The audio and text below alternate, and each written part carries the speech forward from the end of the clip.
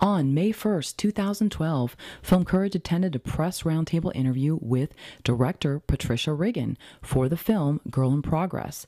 This audio is from that interview session. For more information on Girl in Progress, please visit girlinprogressmovie.com. Well, with uh, Under the Same Moon and this movie, I see kind of a nice little trend going. In other words, every director has a trademark type of film that they make. So, do you feel like that's happening with you now? I like to. Yes, I. I think it's different, and it has a lot of similarities. You know, because now it's it's still a mom and a kid, right? But they're they're living in the same house, but they're separated. So in a way, that's uh, similar to Under the Same Moon. And how are we gonna get these two together?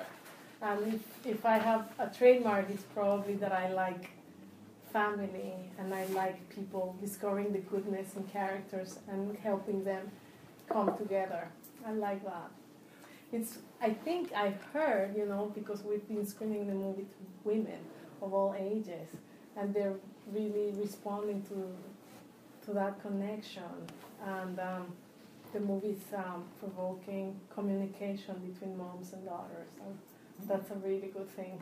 Really But on, good on that discovering the goodness in characters, um, uh, Eva had an interesting thing to say about how she, there there were things about race she didn't like, and we very rarely hear actors judge their characters, because they say that that's uh, up to us, they, they, they play them, see through their eyes. But the, uh, I- it made me wonder how far you feel like you can push people, because you, you do meet her as a pretty bad mother, uh, not, not a terrific example of, of, of a nurturing person. And, and you wonder how far can you push the audience before you draw them back in to be on her side? I know. I think you know. I think Eva did a great job in in the, um, bringing the humanity of the character because she's terribly flawed as a mom, but she's also very likable. And I think we see her making mistakes, but we also understand that she's trying to do her best. She was a young mom herself, you know, and, the character got pregnant when she was 17 and now she has a teen daughter and she doesn't know how to be a mom. So I think the key for me was to understand the character from that other side. You know, I, I brought that little backstory there, you know, when we understand that she was 17 when she had her. She was kicked out of the house. So she's trying to provide, she has two jobs, she's killing herself, and she's neglecting her daughter emotionally, I guess, you know, and that's what she comes to learn. But it's a fine line, and I think she did a terrific job allowing us to like her despite the fact that we're seeing her make so many mistakes. Well, that that was interesting. 'cause There was a line in there about you know for her character, the the, the, the wives in the restaurant hate her. Um, and I she can- has the, the thing open, you know, I actually the scene continues like, should I put this up? Yeah. That's not in the movie. and, and you know, I feel like it was you know she's been called upon to, to use a lot of her charm in the bigger studio movies. But Mm-hmm. what made you see that that deeper quality that where her charm was going to sort of keep that character viable for the audience, but she Mm-hmm. was also going to dig into the more dramatic elements. I think she she wanted to do this very bad. She read this this character and she saw a meaty character where she could really show that other side of her. And she she's such a beautiful, glamorous girl, and she knows that about herself. And she was very conscious of keeping herself real every single moment, even more her than me. She knew that she had to keep her looks. You know, she's a working class girl. She has two jobs. She doesn't have time, and and she said we need to be very careful. Don't don't don't put anything that you know is gonna strike that other uh, other character that I played. You know, this is a real girl. She would ask me, "Do I look bad?" I'm like, "Yeah." She's like, "Yes." You know, she just kept it real, and I think that's allowing women, females, to connect with this character because it's not you know the glamorous girl. It's the working girl that's really just trying. What was your hardest scene that you, the, the one that you, that you were kind of, um, I think we're all the same, we, we kind of have a feeling about a certain scene, well, boy, when I get that one over, I'll, yeah. Was this, which, what was yours, or maybe there I think definitely the bullying scene. You know, I have I work with Raini Rodriguez, and um, she's in the middle of the cafeteria, right? She's it's all full of kids, and and this girl is gonna yell at her, you know, all these awful things. And I I knew it was gonna be very hard. I her father was there, she was there, and we're talking real human beings here. We're not, you know, it's just a real girl. And I was gonna put her through that moment, even if it's acting, she's gonna live that moment. So I kept the, the mean girl, I said to, you know, to not really let it out till we were really going to shoot that moment, you know, so I wouldn't expose her so much. But Raini is so graceful and so self confident and so beautiful inside and out that she just made it very easy for me. But that was a hard one for me. What was about Cierra that got you to get her Mhm. into the role and her chemistry with Eva? Well, first of all, Cierra had never acted in a movie, so I didn't have that actor ready. You know, she didn't have the chops, she didn't have the training. But uh, she sent me a tape when she was 11 years old, singing at the Apollo Theater like Aretha Franklin, and having everybody ah, raving out. And I thought, oh my God, this little girl, you know, the courage. This is Ansiedad for sure. Uh, I don't know if she can act, but she can definitely put on a show. And um, and I thought, you know, I want to choose a girl that I want to see for two hours, that I want to fall in love for two hours, and took it upon myself to help her through, you know, this very complex performance. But I knew I had a girl that I just wanted to watch for two hours. That's what I think makes a difference between just a good actor and a star. How do you strike that balance between hitting those universal themes that anybody can relate to, and then also telling a story that has specific details for the American Latina? hmm Um, I concentrate first and foremost, as you say, in the human experience, and in this case, the female experience, and giving them, you know, just very rounded characters, traits, flaws, virtues, and um, and then I don't push the Latina aspect because I am Latina, so it just comes out really natural. When you go into the details of what they eat and what they hear, that's when the culture, the richness of the culture comes in and makes it very specific. But the experience is the human experience, is the female experience. So I always thought this is a movie for the general audience. It's for, for females of all ages. Um, and then they just happen to be Latinas. And I like that I said it in Seattle and not in a border state because we're used, so used to the Latinas in the borders. These are just two American girls, you know, they're over there, they're living their life, they're struggling like, like so many others. So it could really be about any culture, any race. But there's specific things in it, like when sh the daughter says, "Don't be such an immigrant." Like there's that tension between, and then is that banda music they play at the party? It's like banda, which you never hear in in a lot of films.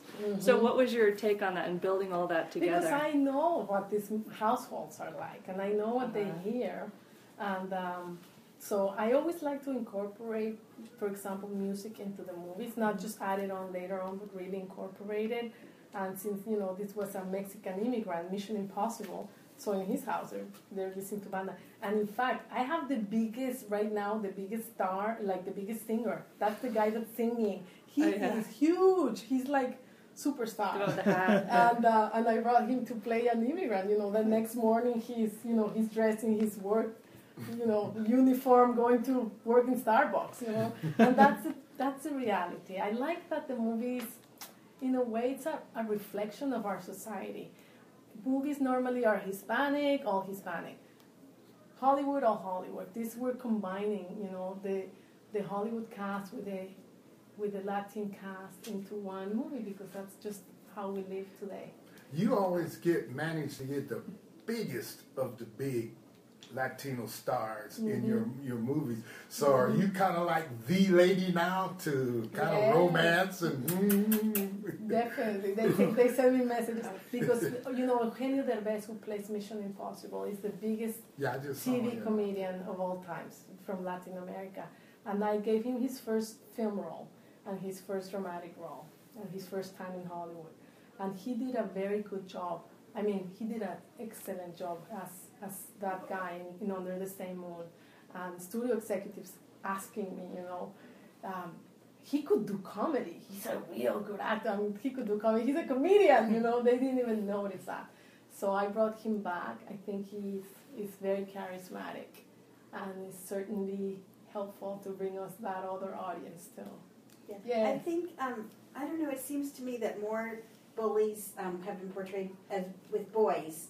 It's more of a boy theme, boy nerd, boy Mm-hmm. this or that. But it's interesting, and I think it's good awareness for girls because I think young teenage girls have such self-esteem issues, right? Mhm. And you've been catering. Is that Yes, true? to it the- was, you know, the bullying um, subject matter, it's at the heart of Ansiedad's story. You know, her coming of age is realizing what, you know, how words can affect people and how bullying can, can hurt someone's life so deeply, you know.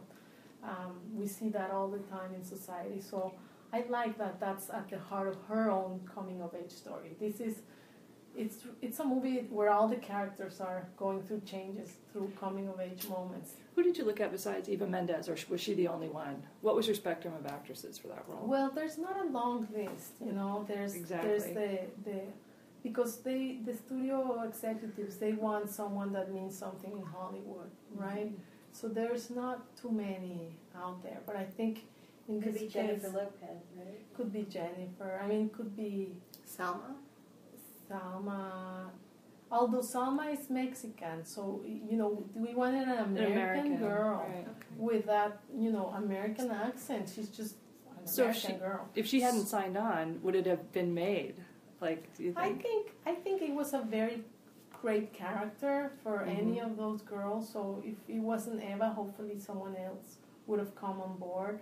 Thankfully, I did a, a movie that was very successful, La Misma Luna. So it showed that I really care about actors and I love Mhm. performances and I, I work with them to give them good moments. Her comedic timing is so awesome, and it's like, did you did you have to adjust that at all, or were you? No, I mean, she's just very good. I, you know, I, I discovered a lot about Eva in the process because we don't get to audition these girls. You know, you Mhm. cast them, and she, you know, I saw every movie she had done, so I could Mhm. learn about her. But most of her roles were, you know, in a way similar. She was very glam, very beautiful playing that role. But she hadn't I hadn't seen her real, you know, like real Pretty. pretty, you know, down to earth, working class girl. And I was so blessed that she she has a great comedy. She's very funny, and she also has, you know, the drama. She's she's a very very good actress. I think another of the I themes that uh, uh, both Grace and Ansiedad have to deal with is, is understanding the consequences of your choices. And I felt that the bedroom scene uh, with, is it Trevor, is that the the boy's name? Uh, aside from the fact there's a lot of comedy in it, there's also, I mean, the daddy in me was saying, "Get up, get out, of, here, don't do that." And and and so it's a, I thought there was a scene that required a lot of, of again fine tightrope walking. Yes. Talk a bit about that. Did you try it different ways, or how did how did? You know, I was. Uh, her parents were there. You know, that's those are the, another one. The very tricky scene. You know, and she's a young girl. She hasn't had any of these experiences, so I was very conscious and very careful of, of not exploiting the girl, not exploiting what I know works out there in the media, which is could be you know more sexual, more out there, showing more. We don't need that. It's all about what's really happening underneath. And so I, I made, you know, she takes her underwear under the covers, and it just, I think if you work from your heart, it just, it just all happens. And one thing I'm discovering is that the movie's being embraced by families, and um, and um, and I think it has to do with the way we deal or I deal with very strong subject matters. We're in a very elegant way, subtle way, because we don't need to show or to say what we need to say. You said I wanted the movie to be seen by kids. You know, when I got the script at the beginning, it was an R-rated script, and I thought I don't want to make a movie that girls cannot watch. This is a movie about girls. I want girls to be able to watch it. So I adjusted everything to be able to open it for them. So you said you were looking specifically for an American who would have the American accent. So do you think the movie will play in Spanish-speaking countries? Um, I'm hoping, you know, I think this is a this is a, a tricky movie. It's not clear, you know, because we think it's Latina because it has Latinos, but it's very general. Um, but you know, we have uh, Eugenio and Espinoza who are huge Mexican and Latin American stars, so that will help us, you know, put it out there. Um, and it's really about the female experience. I think I think single moms are out there everywhere in every society, and the struggles that single moms face about you know young pregnancy is present in all members you know of communities in our society, and the movie is also you know tackling that very important subject matter. So I, I'm hoping that it plays everywhere. If we do well here, it'll play more. And um, I think we're lucky we got the Mother's Day weekend. It's a it's a movie that speaks to females, to moms and daughters, and I'm hoping that that's their, their movie of choice that weekend. We're the only movie, on, only female movie on Mother's Day weekend. Ah. Yeah. Oh, Don't It see the out. Avengers. Yeah. Don't That's the following I've already weekend. seen Yeah. No, no. Yeah. I love the Avengers. Thank you, everyone. Thank you Thank so much. Thank you very much.